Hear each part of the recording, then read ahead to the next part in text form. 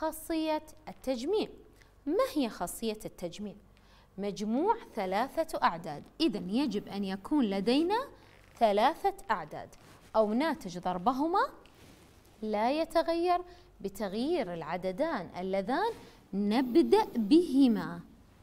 لنوضح ذلك. ألف زائد باء زائد جيم ثلاثة أعداد.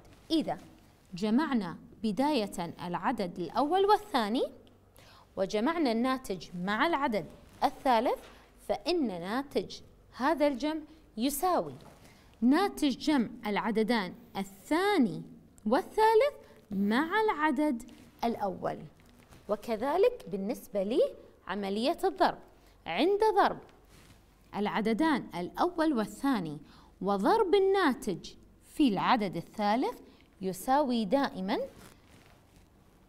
ناتج ضرب العددان الثاني والثالث في العدد الأول ننتقل الآن إلى خاصية العنصر المحايد ماذا تقول خاصية العنصر المحايد؟ مجموع أي عدد والصفر يساوي دائما العدد نفسه لأن الصفر هو العنصر المحايد الجمعي ولا يؤثر على ناتج عملية الجمع. بالنسبة للضرب فإن ناتج ضرب أي عدد في واحد.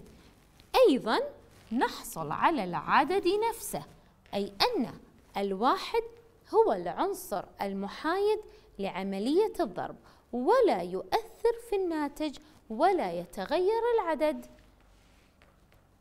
للتوضيح أكثر. ألف زائدا صفر فإن الناتج دائما ألف. ألف ضرب واحد الناتج دائما أيضا ألف. والآن أعزائي الطلبة سنوضح هذه الخصائص من خلال الأمثلة. أوجد ناتج ضرب أربعة في اثنى عشر في خمسة وعشرون ذهنيا. وعلل كل خطوة من خطوات الحل. ما المقصود أعزائي الطلبة بذهنيا؟ ذهنيا أي أننا نقوم بإجراء العملية بأسرع طريقة ممكنة باستخدام الطرق الذهنية التي تم دراستها سابقا وبتطبيق الخصائص السابق ذكرها. هل من السهل إجراء ناتج عملية ضرب أربعة في اثنى عشر؟ لا اثنى عشر في خمسة وعشرون؟ لا هناك طريقة سهلة ما هما العددان اللذان ناتج ضربهما مئة؟ هما أربعة وخمسة وعشرون إذا أريد أن أحصل على مئة لأن المئة سهلة في عملية الضرب كيف سنحصل عليها؟ تابعوا معي أولا سنقوم باستخدام خاصية الإبدال لعملية الضرب. ماذا فعلنا؟ قمنا بتغيير مكان العددين. 12 في 25 أصبحت 25 في 12 الآن حصلنا على العددين 4 في 25 بجانب بعض. ناتج ضربهما هو 100 المئة مضروبة في 12 هي 1200 فأصبحت العملية أسهل باستخدام خصائص العمليات. ننتقل أعزائي الطلبة إلى تدريب. أرجو أن تكونوا مستعدين لحل هذا التدريب. أوجد ناتج ضرب أربعين في سبعة ضرب خمسة بين القوسين ذهنيا وعلل كل خطوة من خطوات الحل. لديكم أعزائي الطلبة دقيقة واحدة للتفكير في الحل.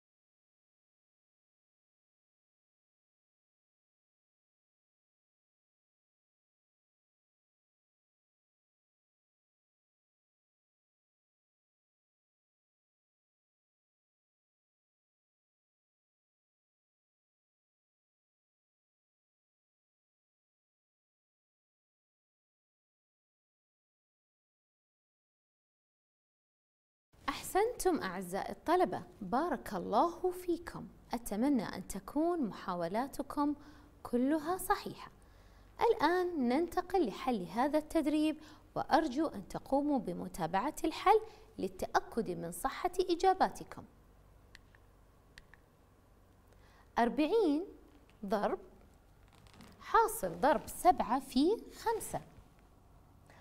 ما هو الأسهل؟ أن أضرب أربعين في سبعة أم أضرب الأربعين في خمسة. إذا الأسهل هو كتابة أو ضرب الأربعين في خمسة. إذا سأعيد كتابة العبارة هذه باستخدام خاصية الإبدال وسأغير مكان العددين سبعة في خمسة إلى خمسة في سبعة. الآن باستخدام خاصية التجميع سأجري عملية الضرب للعددان الأول والثاني أولاً ثم أضرب الناتج في سبعة. ناتج ضرب أربعين في خمسة هو مئتان. في سبعة هي ألف وأربعمائة. أحسنتم أعزائي الطلبة شكرا لكل من أجاب إجابة صحيحة. ننتقل إلى مثال آخر لتوضيح الخواص في عملية الجمع. أوجد ناتج جمع تسعة وثمانون زائدا خمسة عشر زائدا واحد ذهنيا. وعلل كل خطوة من خطوات الحل.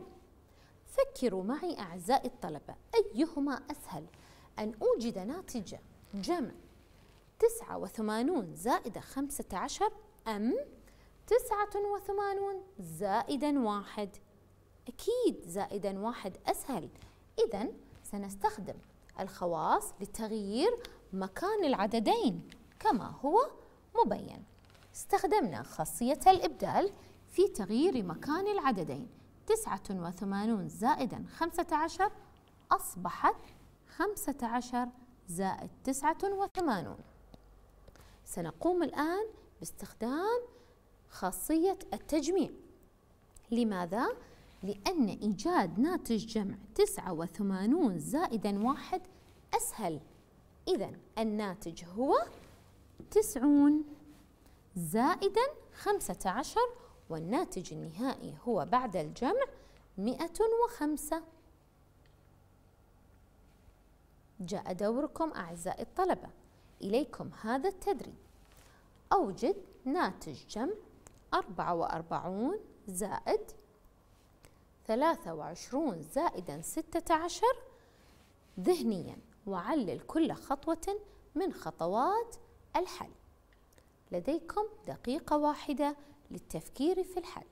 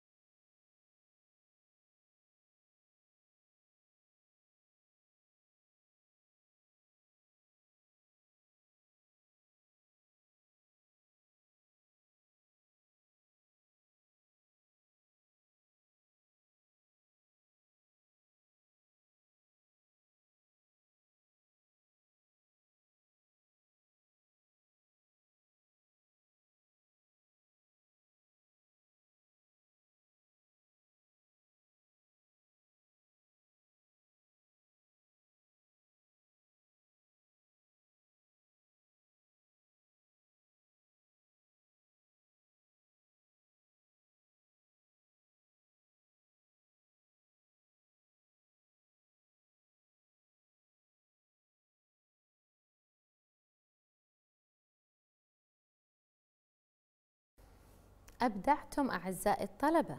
أرجو أن تكون محاولاتكم كلها صحيحة.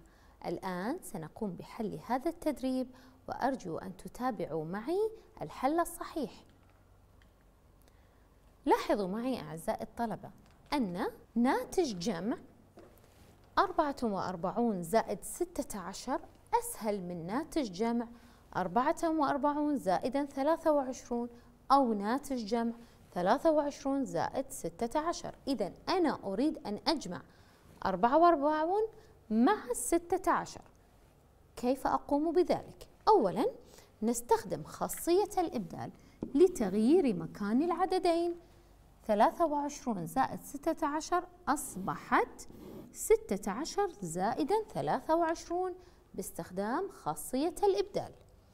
ثم سنقوم باستخدام خاصية التجميع لحساب ناتج 44 زائد 16 في البداية. إذا ناتج الجمع هو 60 زائدا 23 الناتج النهائي هو 83 شكرا لكل من أجاب إجابة صحيحة.